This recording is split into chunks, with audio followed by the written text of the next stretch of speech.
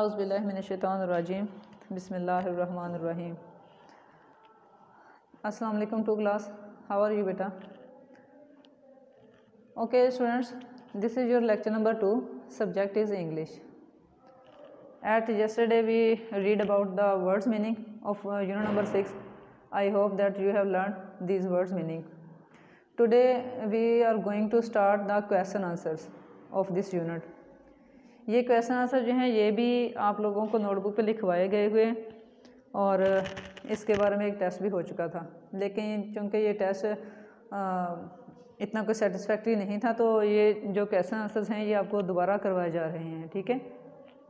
और आप लोगों ने नोटबुक पे जो रिटर्न वर्क हैं वो आज इस तरीके से करना होगा जैसे मैं ये रिटर्न वर्क आपको करवा रही हूँ ना तो आपने इसी तरीके से रिटर्न वर्क करना है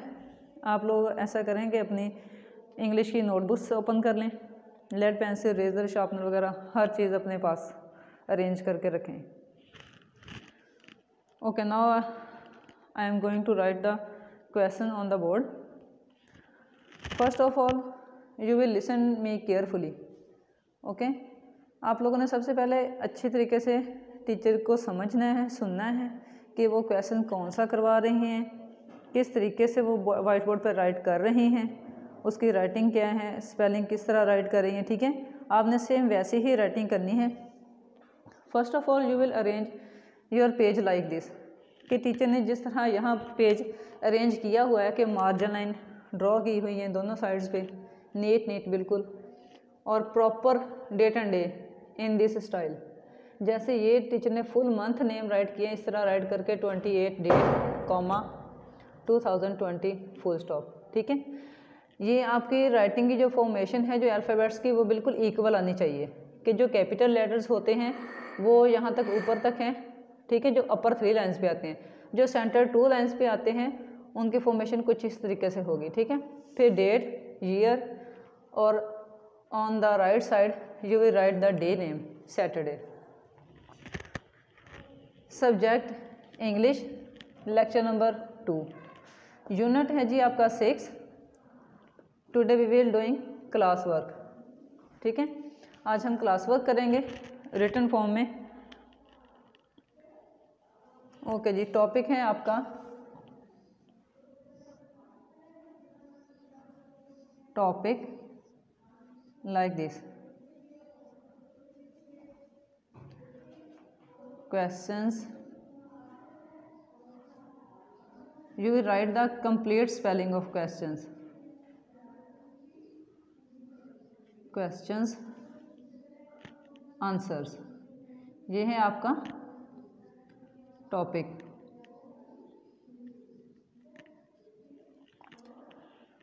ओके जी क्वेश्चन नंबर फर्स्ट है आपका ये आपने जब भी क्वेश्चन या आंसर स्टार्ट करना है तो उसकी हेडिंग जो है वो आपने या तो लेड पेंसिल से या पॉइंटर से लाइन के बिल्कुल सेंटर में हेडिंग राइट करनी है like like this question number one इससे क्या होगा कि आपके क्वेश्चन और आंसर की हेडिंग प्रॉपर नुमाया होगी ठीक है हेडिंग जो है वो प्रॉपर सामने नजर आएगी तो इससे आपको पता चलेगा जी हाँ जी क्वेश्चन नंबर वन स्टार्ट हो रहा है क्वेश्चन नंबर वन है क्या वो जहाँ टीचर राइट कर रही हैं जो मैंने ब्लैक से लिखा है आप उसको पॉइंटर से ब्लैक पॉइंटर से राइट कर सकते हैं ठीक है नेक्स्ट में जो ब्लू बोर्ड मार्कर से राइट करने जा रही हूँ वो आप लोग लेड पेंसिल से राइट करेंगे ठीक है lead pencil should be properly shopped and page should be neat okay question number one है where were the boards tied where ये इस तरह आपने हर अल्फ़ाबेट को प्रॉपर राइट करना है एक दूसरे से ज्वाइन भी नहीं होने देना है कि इकट्ठा भी ना हो कि वो उसकी शेप प्रॉपर समझ ना आए और इतने डिस्टेंस पे भी राइट नहीं करना कि ऐसा लगे कि वो अल्फ़ाबेट पता नहीं किस वर्ड का हिस्सा है ठीक है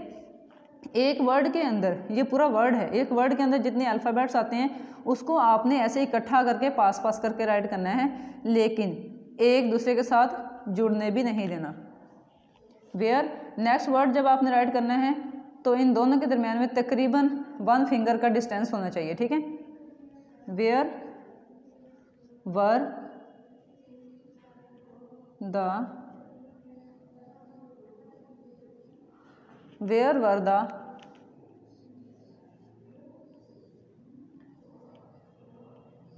boats tied tied tied का मीन कल टीचर ने क्या बताया था आपको कल वर्ड्स मीनिंग में आप लोगों ने पढ़ा था ना अनटाइड अनटाइड का मीनिंग था खोला अब अनटाइड का मीनिंग खोला था उसमें से अन को हटा दिया बाकी रह गया टाइड तो टाइड का मीनिंग क्या बनेगा बांधा वेयर मीन कहाँ वर थी द बोट्स बोट्स कश्तियाँ मतलब टाइट बांधी कश्तियाँ जो थीं वो कहाँ बांधी हुई थी तो इसका आंसर राइट करने के लिए हमने क्या करना है फिर सेंटर में इसकी हेडिंग देनी है ओके ना who will give the answer आप में से कोई इसका आंसर दे सकते हैं मुझे रीडिंग आप लोगों ने की है ना टीचर ने उसमें आपको एक्सप्लेन किया था तो कोई बच्चा बता सकता है इसका आंसर क्या हो सकता है जब वो अपने सैर के लिए जा रहे थे विज़िट पे जा रहे थे तब उन्होंने कश्तियाँ कहाँ कश्ती कहाँ से ली थी कहाँ से सवारी ली थी तो कश्ती कहाँ खड़ी थी किसके साथ बांधी हुई थी कहाँ बांधी हुई थी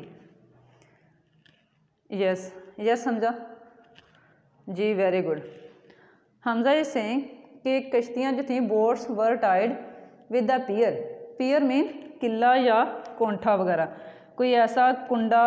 या किला जिसके साथ कश्ती को बांधा जाता है उसकी रस्सी को बांधा जाता है ताकि कश्ती जो है वो दोबारा से पानी में मूव ना करे उसको किनारे पर लाकर उस किले के साथ बांध दिया जाता ताकि वो खड़ी हो जाए फिर जब उसमें किसी ने मतलब सवारी वगैरह करनी है जब उसमें उसकी सवारियाँ पूरी हो जाती हैं फिर वो उसमें उसको बिठाकर तो फिर उससे वो रस्सी खोल कर नेक्स्ट पानी में मूव करते हैं ठीक है इसका आंसर होगा the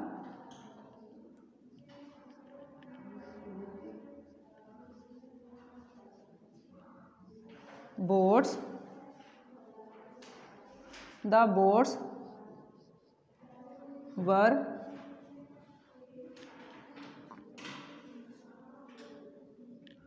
tied to the pier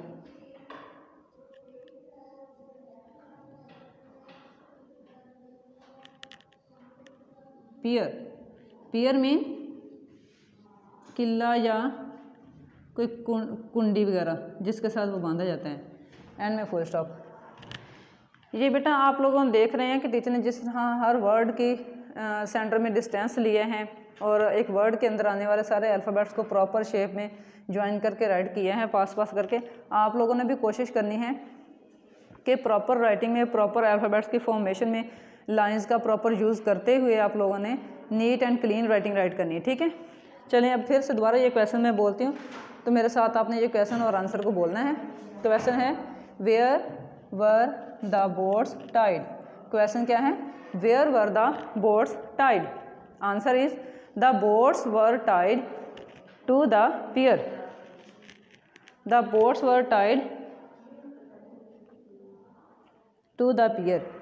boats जो कश्तियाँ थी वो पियर के साथ बांधी हुई थी नेक्स्ट क्वेश्चन राइट करने के लिए फिर हम सेंटर में हेडिंग देंगे in the centre we will write question number question number two question number two है जी why did the children's sorry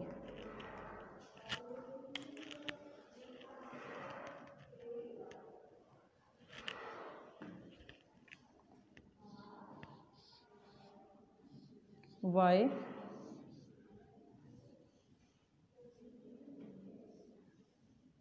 did the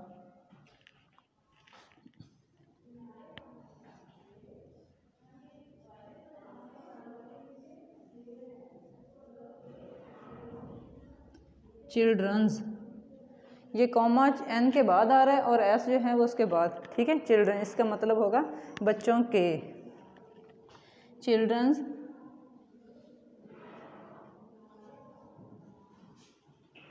faces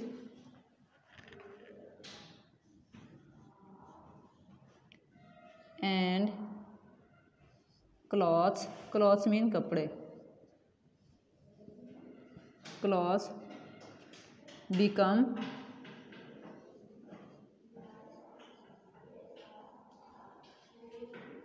damp damp mean कल क्या टीचर ने आपको पढ़ाया था डैम्प मीन गीला होना कंप्लीट क्वेश्चन क्या है जी why did the children's faces and cloth become damp उसके बच्चों के जो फेसेस और क्लॉथ कपड़े जो थे वो डैम्प कैसे गीले हो गए थे जब बच्चे बोट में बैठे अपना जर्नी कर रहे थे सफ़र कर रहे थे तो उन लोगों के फेसेस उनके चेहरे और उनके कपड़े जो थे वो गीले होने लगे थे किस तरह गीले होने लगे थे यस ड्यू टू स्प्रे जब पानी के हल्के हल्के छींटे उन पर पड़ रहे थे पानी के उस वाटर से स्प्रे सी हो रही थी तो इस वजह से उनके कपड़े जो थे वो गीले होने लगे थे ओके जी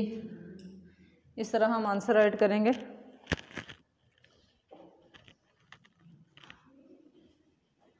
आंसर की हेडिंग आपने इस तरह सेंटर में राइट करनी है ठीक है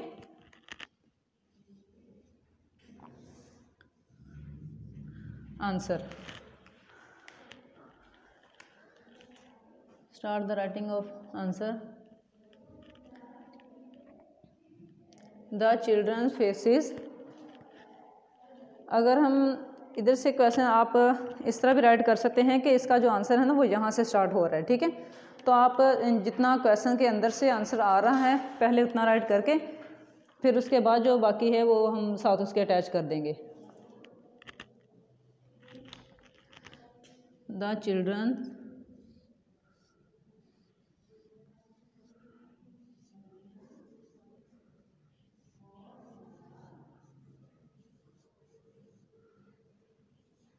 the children's clothes and faces या फेसिस एंड क्लॉथ्स अगर एक वर्ड आगे पीछे हो रहा है तो इससे कोई प्रॉब्लम नहीं ठीक है क्लॉथ्स एंड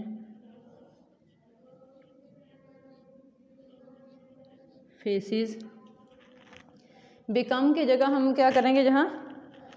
ओ की जगह ए राइट कर देंगे तो क्या बन जाएगा बिकेम आंसर में इसकी पास्ट फॉर्म आएगी बिकम की बिकम के पास्ट फॉर्म क्या होगी बिकेम तो आंसर में बिकम नहीं आएगा बिकेम आएगा became damp due to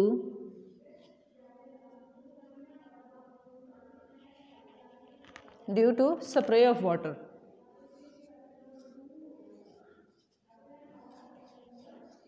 spray of water.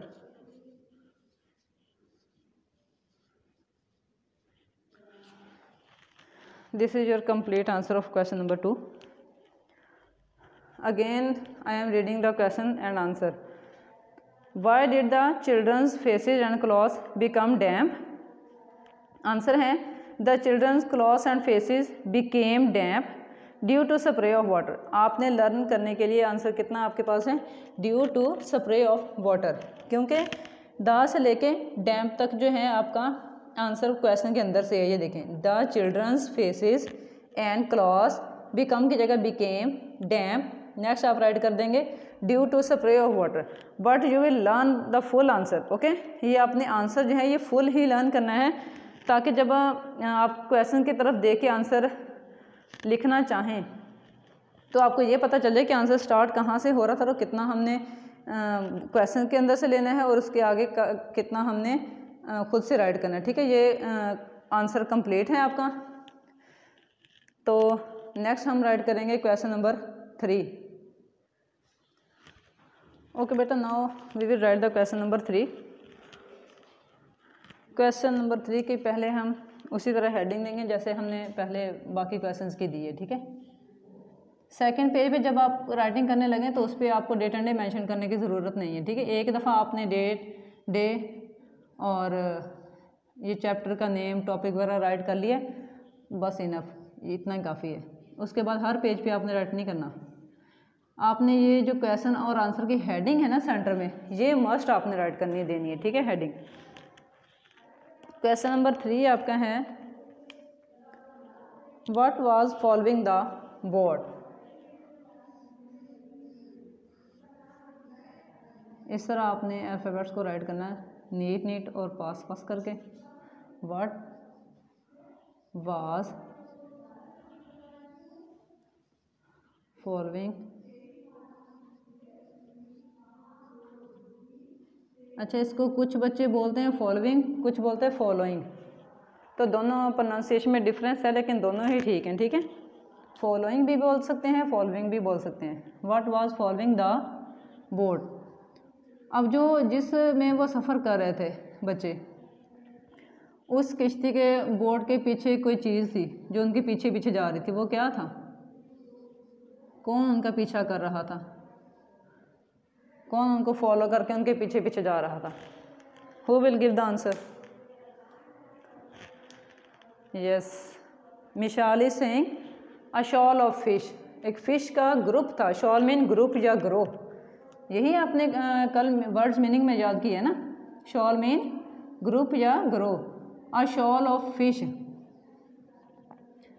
के एक फ़िश का जो ग्रुप था मतलब दो तीन फिश नहीं थी बल्कि काफ़ी सारी थी उनका जो पूरा ग्रुप था वो उनकी बोट के पीछे पीछे जा रहा था उनको फॉलो कर रहा था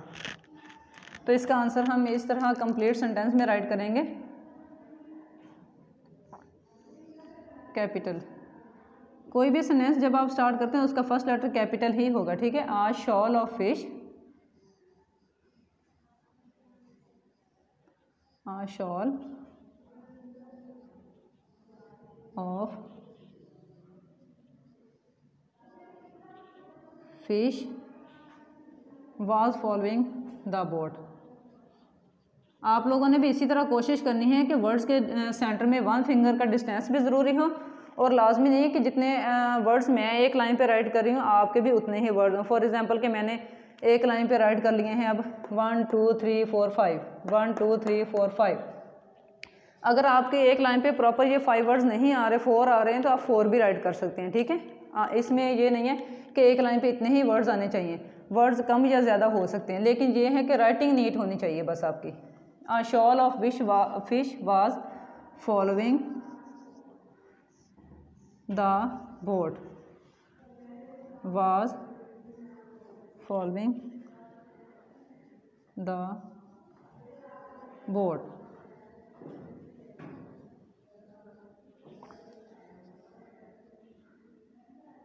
ठीक है ये इसका कंप्लीट आंसर है क्वेश्चन है what was following the boat और आंसर है a shoal of fish was following the boat ठीक है नेक्स्ट आपका क्वेश्चन है question number four same like previous question we also mention the heading of question number four in the centre of the line question number four आपने ये कोशिश करनी है कि ये पॉइंटर से राइट करना है हेडिंग जो है क्वेश्चन नंबर थ्री फोर अं, ये जो आंसर राइट करें हेडिंग देनी है अपने पॉइंटर से ब्लैक पॉइंटर से हेडिंग देनी है लेकिन अगर किसी के पास नहीं है तो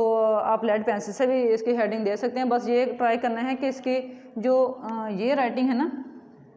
ये आपने थोड़ी बोल्ड फॉर्म में राइट करनी थोड़ी सी ना मोटी करके राइट करनी ताकि आपकी हेडिंग जो है वो वाजह क्लियर आए ठीक है जब आप पेज खोलें तो फ़ौरन आपको पता चल जाए ये जी क्वेश्चन नंबर थ्री लिखा हुआ है इसके नीचे इसका क्वेश्चन का मेंशन किया हुआ है उसके बाद इसका आंसर है यहाँ से क्वेश्चन नंबर फोर स्टार्ट हो रहा है यहाँ से क्वेश्चन नंबर फाइव स्टार्ट हो रहा है इस तरह ठीक है अब क्वेश्चन नंबर फोर क्या है आपके पास why did the boatman call them flying fish why like this why did the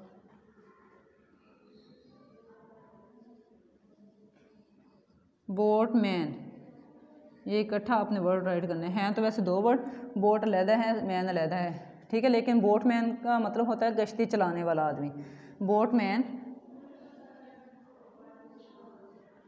call them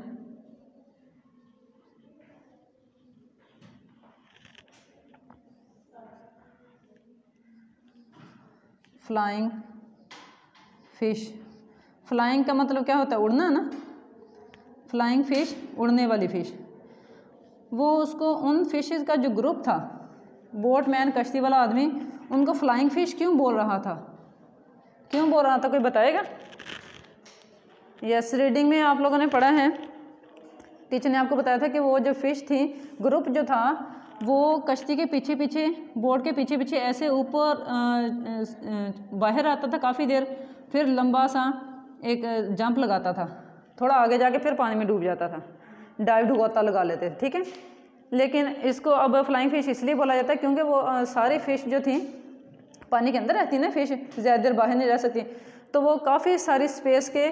मतलब के यहाँ से अगर निकल रही हैं तो काफ़ी आगे जाके फिर पानी में गोता लगाती थी तो इसलिए वो ऐसे लग रहा था जैसे कि वो पानी में उड़ रहे हैं पानी से ऊपर ऊपर उड़ रहे हैं तो इसलिए बोटमैन कहता है कि इनको फ्लाइंग फिश कहा जाता है ये इतने लंबे लंबे जंप लेती हैं बहुत ज़्यादा डिस्टेंस जो है वो तय करती हैं तो इसलिए इनको फ्लाइंग फिश कहा जाता है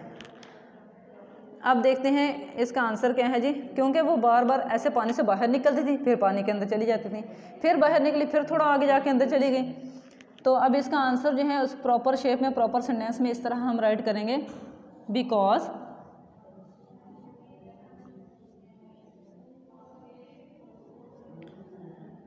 because the because the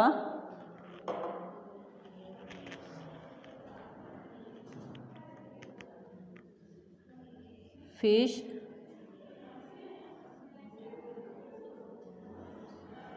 dived गोता लगाना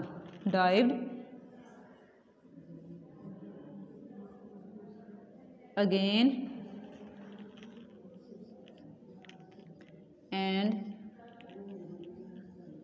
अगेन क्योंकि वो फिश जो है पानी में बार बार गोता लगा रही थी बार बार बाहर निकल रही थी आ जा रही थी ठीक है इसलिए okay ji today we will just learn and write these four questions on notebook ये आपके फोर क्वेश्चंस की राइटिंग जो है मैंने बोर्ड पे कंप्लीट कर ली है अब आप लोगों ने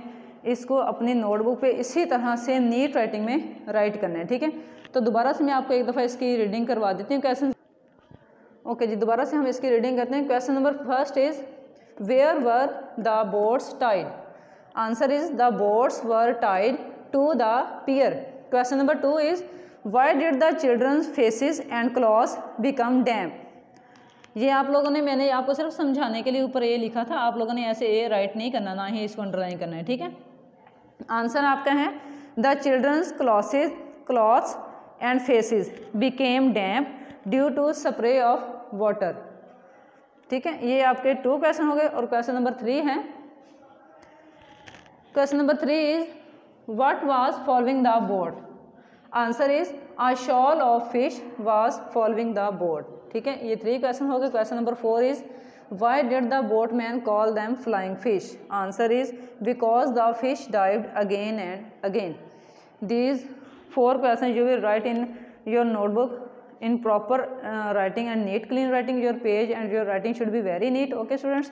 after complete the writing you will learn these four question understand next four question we will इनशाला learn and write at next in next lecture okay today your diary is because today is Saturday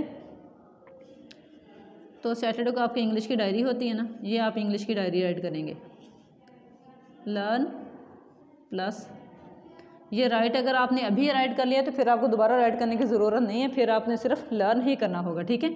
लेकिन जिन students ने अभी right नहीं किया वो write भी करेंगे